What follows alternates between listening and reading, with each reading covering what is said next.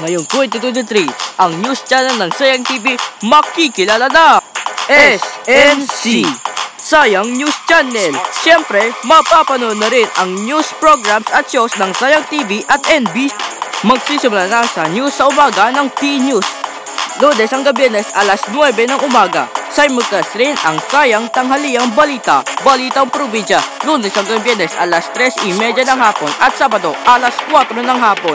At news programs ng Sayang TV, simulcast na rin sa SNC at Front News, Monday to Friday, 9.30pm. Abangan din ang mga news programs ng NBC. Ito ang SNC Sayang News Channel, ang news headquarters ng Sayang TV.